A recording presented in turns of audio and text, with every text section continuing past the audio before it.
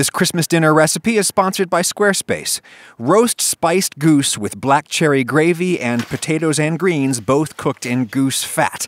Goose is the classic Dickensian Christmas roast, but it's actually quite rare here in the States. I've never cooked one before, and I'm not sure I've ever even eaten it before. I ordered one off the internet, and I'm going to show you what I did with it. It came out real good.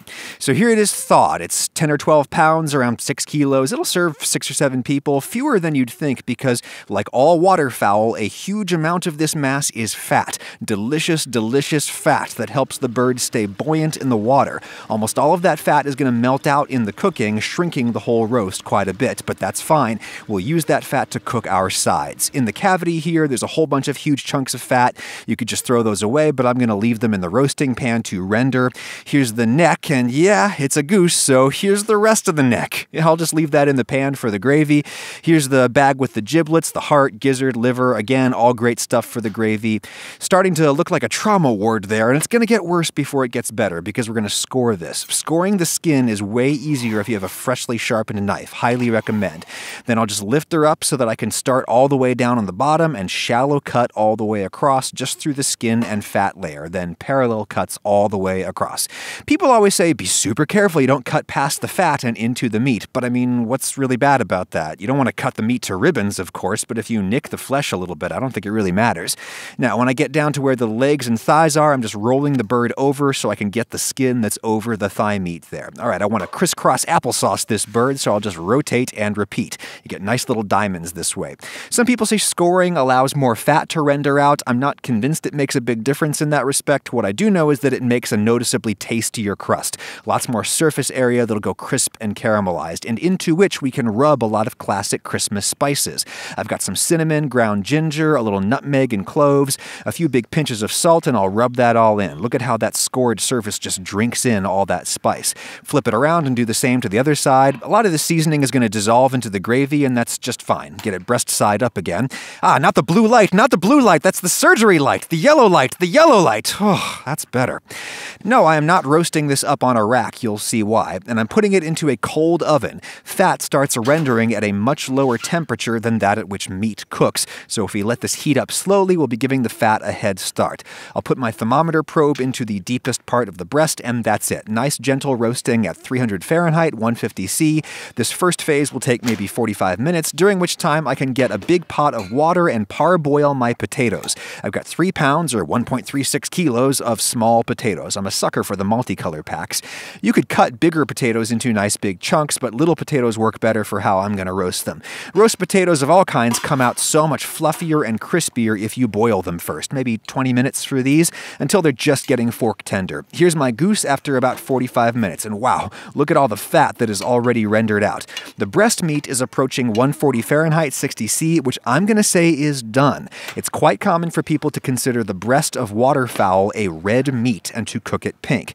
The breast of a bird powers its wings. Ducks and geese are long distance flyers, so their breast meat is full of myoglobin and slow twitch muscle fibers, giving it a texture and appearance more like, say, beef. That's why a lot of people cook duck breast medium rare. It won't have that slimy, gelatinous texture that chicken breast has when it's rare. I'm just finding the breastbone with my knife and then slicing down along it to shave off the entire side of the breast. It is done roasting. I'll just stow it on some foil for now.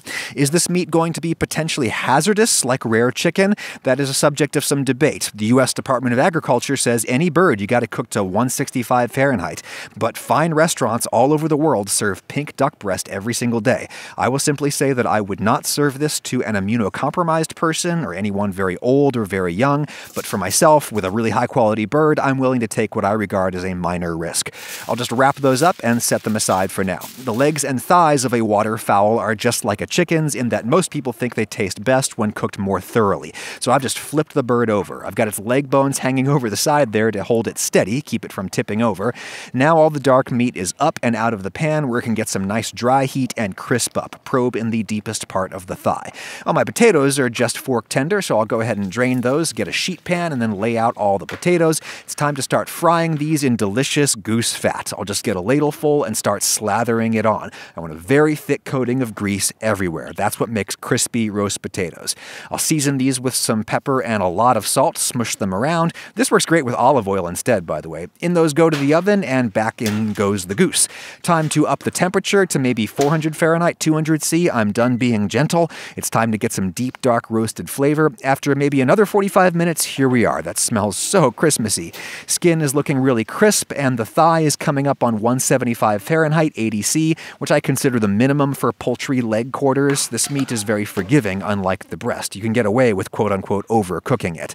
Out it comes to the board to rest. Let's check on the potatoes real quick. Looking good. Nice brown color on the bottoms there, and you could keep roasting them just like this, but I'm going to do the trick where you take a heavy glass or something and you just crush each potato a little bit. Just push it until you feel the skin pop and then stop. If you keep pushing, the potato will fall apart, but if you just pop them, they'll stay together and you'll expose a lot of this fluffy, starchy flesh that will crisp beautifully in the fat. If we had tried this step before we roasted them a bit, they might not have been soft enough and they might not have all fit on one pan. The roasting has shrunk them a bit and it'll shrink them some more, so don't stress if your pan is a little crowded, just as long as everything is in one layer. Back in the oven, those go.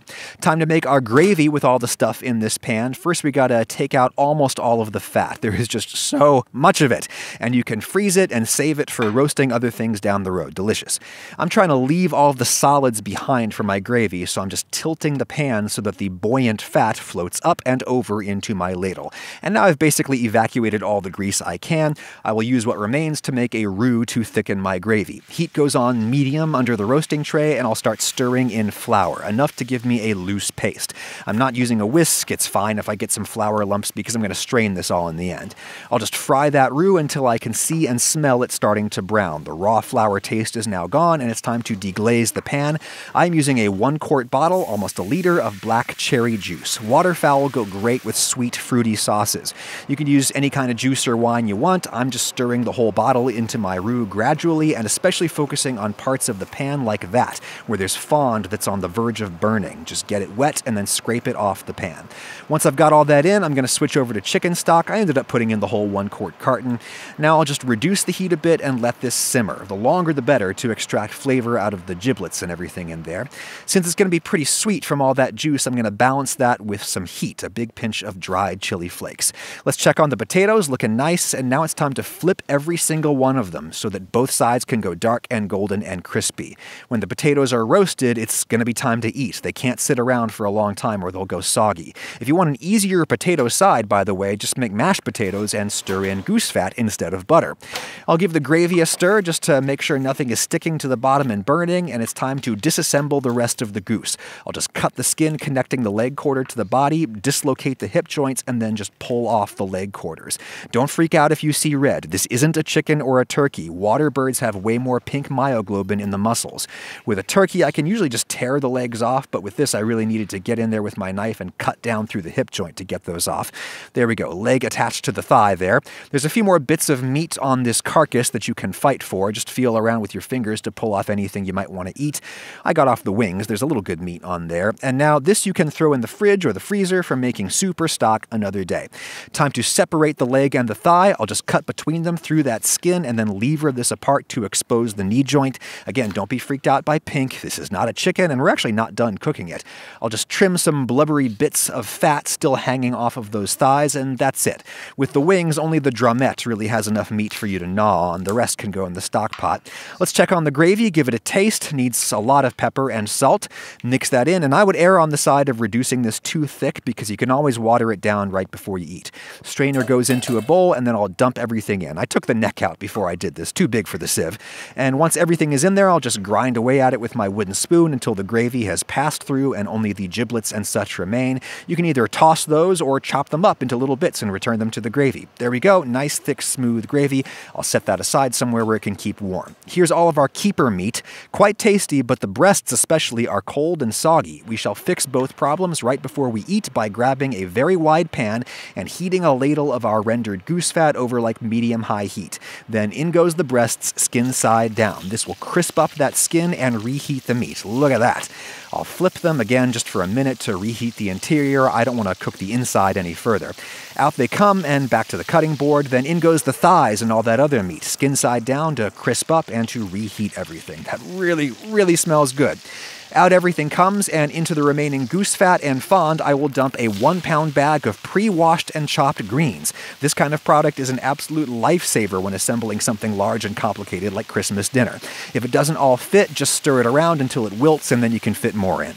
These are mustard greens, which are probably my favorite dark leafy green. They have a nutty flavor I love. I'll pour in a little water just to help deglaze the pan and get the greens started cooking. It just takes a minute for them to all wilt down, and then I'll give them a taste. These need more pepper and salt, and then maybe another ladle of that goose grease. I would normally summon the upside down bear and squeeze in some honey to balance the bitterness of the greens, but we're having this with our black cherry gravy, which is sweet, so all done. Off the heat, but leave them in the pan to stay warm. The potatoes have gotten at least 90 minutes in the oven, and they look great. Last thing I'll do is take a bunch of sage and tear in whole leaves. You could chop it up fine, but they'll fry a little bit in that hot fat and wilt a lot. Sage is such a great winter holiday flavor, but it's very strong. Be careful if you're not sure if you like it.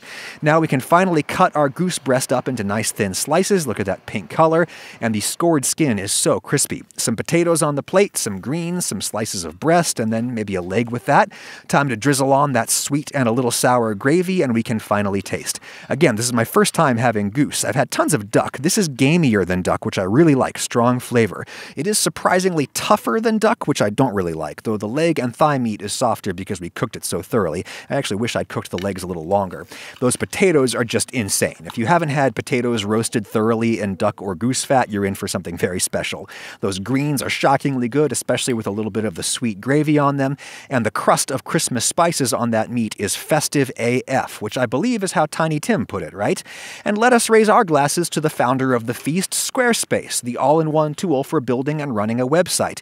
In far less time than it takes you to knock out Christmas dinner, you can choose a template appropriate to your purpose, throw in some of your own pictures, tweak the look a little bit, and then there you are. You can do all of that for free at squarespace.com anytime. But say you want to move beyond free, say you want to start getting other people to pay you. Squarespace now allows you to create gated members only content, and Squarespace handles all the credit card stuff. You can easily manage your members, send them email blasts, gather analytics on them, anything you need. When you're ready to take your site live or register a custom domain, you can do us both a favor and save 10% at squarespace.com slash Ragusea. Squarespace bless us, everyone.